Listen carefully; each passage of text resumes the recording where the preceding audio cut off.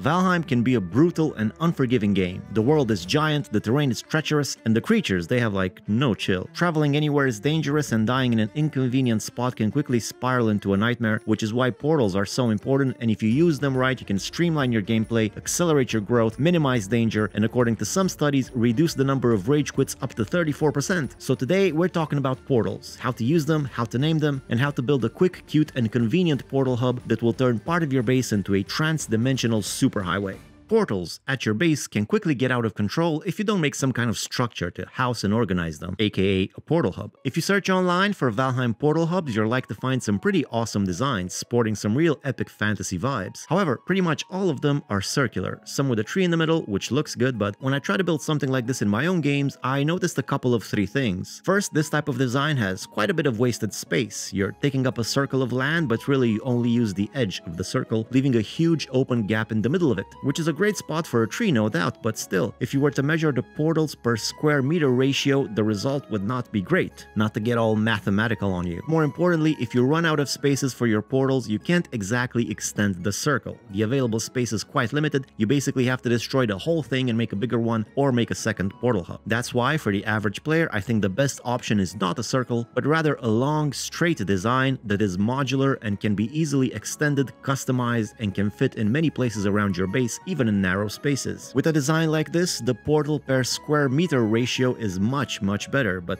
Forget the math, I'll just summarize by telling you that with this system, this space right here, this one, you can see one, not that big, this space, it can fit 40 four zero portals, probably more than you will need the whole game. And not only will they fit, but they'll make portal travel a breeze, allowing you to easily find and reach the portal you need swiftly and smoothly. Here's how to build it. It's pretty straightforward. First make a simple wood wall as long as you like, and then add another row on top of that, then make a second wall parallel to the first one 4 meters away or 6 meters away depending how wide you want your hub to be. Add some roof tiles to unite the two walls and your portal hub is finished. Okay guys, I hope you enjoyed the video. Please subscribe to the channel and of course, I'm kidding, there's more to it, but this will basically work if you want. All you need to do is add portals along the walls, one every 4 meters or every 2 floor tiles. You can space them equally by trying to align the middle of each portal with the line where the two floor tiles meet. Now you got yourself a bunch of portals in a line on either side of you as you walk through the hub.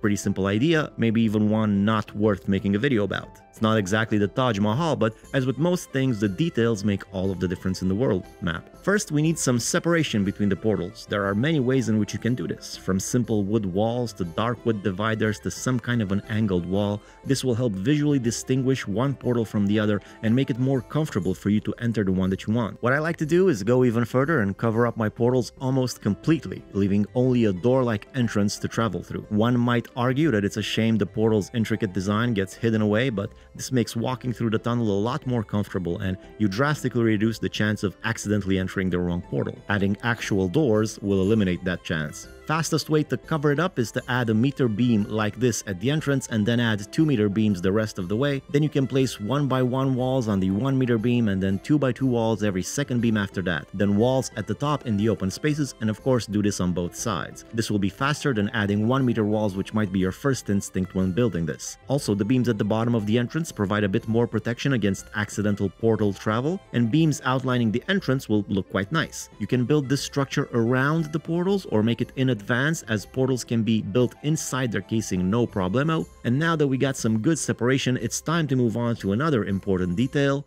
Signs. Signs will help you navigate to and quickly identify the portal you want. Of course, you can always see the name of a portal by hovering over it, but I'm sure we're all busy Vikings that don't have time to carefully position our cursor over a narrow thing, especially when it's boxed in. So, a larger, visible sign indicating the name of your portal would be pretty useful, and a good spot for it is right here inside the portal on the wall behind it. Depending on the orientation of your walls, they might be smooth, in which case I align the sign to this edge, or if the wall has ridges, then they make a nice little frame for the sign as well. To make it even more efficient, you need signs in front of you as you move through the portal hub. Otherwise, when you look for a portal, you'll be constantly swinging from left to right like a like a, a, a senator or, or something. I don't know, something about politics. You can add some half walls right here connecting the sides of your hub, which is a perfect spot for placing signs like this that you can see when you walk through. You can even add arrows to point you in the right direction, and then the sign inside the portal double confirms that you're in the right spot. You can place these signs on the wall, underneath the wall. You can place two layers of them for a more intricate look. Also, adding beam borders might change this, so play around with it. But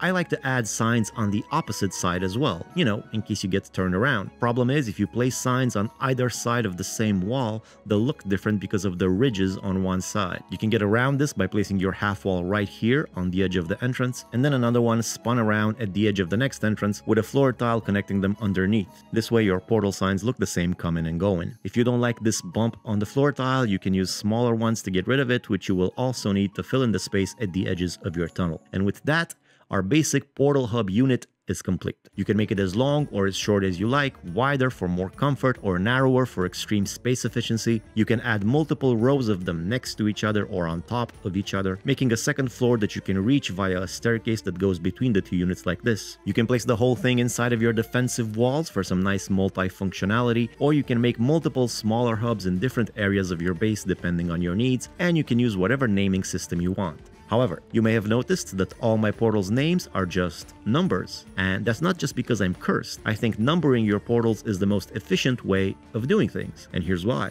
My first instinct when playing Valheim was to name my portals based on what was on the other side. For instance, you make a portal next to the Elder, you might want to name it Elder, or you make a camp for mining copper and you name that portal CP1 or something. But the problem with that is no portal is defined by just one thing. Not to get all woke on you, but each portal has multiple aspects that might be of interest to you. The Elder portal might also be a good source of blueberries or core wood, and that portal named Haldor might just be right next to a giant swamp area that holds tons of iron. Also, this type of naming can get confusing quickly, especially if you move them around. Oh, and caps lock matters, don't even get me started. Odin only knows how many portals I abandoned in my first playthrough because I just forgot what I named them. However, if you just name your portals simple numbers in order, then for one thing it's faster to type, but more importantly, you'll never forget what you named your portals. Ever. Even if you do, you just try numbers in order until you find the right one. Ah, but if you just use numbers, how will you remember what each portal contains? I hear you ask. Well, first of all, Thanks for watching, I really appreciate it. I hope you liked the video. Maybe subscribe, that would be nice. Secondly, there is more space inside each portal to add several more signs indicating what might be important on the other side. Whether it's a boss, a vendor, a good collection of raspberries, a tar pit, a grey dwarf farm, or anything else that you might want to return to at some point, you got room for at least four labels on each portal. You can keep a chest of wood and coal nearby so that you can quickly write new signs when necessary. Also, whenever you place down a portal in the world and assign a number to it, you gotta update that on your map as well. Same goes if you move that portal, but hey, that's just basic map hygiene. I don't even know why I'm telling you. Anyway, let's talk a bit about the early game regarding portals because initially you have a limited amount of resources, so it's not exactly easy to build a ton of portals. That's why many players prefer to have a single portal at home and they just change the name of it depending on where they want to go. This is very useful early on, it saves you a lot of resources, but it does have some downsides like once you step through your home portal, whatever its name was, you can only return home through that same portal and not a different one that you might be closer to. This can offer limitations in certain situations. That's why I think as you progress through the game, instead of having one portal at home which you change the name of, every portal you plant in the world should have its own equivalent in your base. This simplifies travel considerably and you can even make portals in advance. After all, if you're just numbering them, you can make portals in your hub up to let's say number 16, even though you only have 7 7 active so far. But now, whenever you want to place a new portal at a location of interest, you just need to name it the next available number, in this case 8, and it automatically connects to your base. Simple, convenient, and easy to remember. Of course, making all of these portals costs a lot of resources, but I think it's definitely worth it considering how much smoother and safer your journey will be, and knowing you have portals and backup portals and unconnected portals is a giant advantage. It helps you with every single aspect of the game, from resource gathering to fighting to exploring to farming to buildings, so I think it's a good idea to put in the time and gather the required materials. Fine wood is all around you, gather as much as you can, collect the seeds, plant them nearby, especially the big old oaks, or for maximum efficiency you can make a tree farm, which I might make a video about. Also, once you reach the plains, you will have vast forests of nothing but fine wood. Grey dwarf eyes are something you kind of collect automatically as you play the game, but to speed up the process, go into the Black Forest at night or find a spawn point and build a farm around it, which is also something I might make make a video about. Then there's the Surtling cores, which are the hardest to find, but even so, there's many burial chambers in the Black Forest which are not too difficult to clear, especially with a Stagbreaker. However, once you reach the swamp, you have a much simpler way to get cores. Just find one or more of these fire geysers and make a farm around them, which is something I already made a video about, this one. Just dig up the area around the flame so that it's surrounded by water. Now whenever a surtling spawns, it will be instantly killed, making a coal and core farm that you can visit whenever you want to collect some loot. Even better if there's a bunch of them around, just make a portal nearby, give it a number, and of course, don't forget to label it properly. As you advance through the game, getting these resources becomes easier and faster, so I say keep grinding and gathering portal materials until you can build a crapload of them. Your future Viking self will thank you. I should also quickly mention that the portals you place around the world should probably be somewhat protected. If you find a hut or stone building, that's an ideal place for a portal, but if there's nothing around, you can make a quick building like this by first making a workbench, then a portal in front of it, then add two walls in the back, then some more on the sides, close it in with a door, and some quick roof tiles like this should be enough. In the short term, most of the time, your portals will be fine even if they're out in the open, but I wouldn't leave them out like that for too long, they can get destroyed if you leave enemies around it. And one more thing I want to mention is what I call my roaming portal. Besides all the numbered portals in the hub, I also have an extra portal that I keep unnamed inside of my house next to my bed. This is my quick access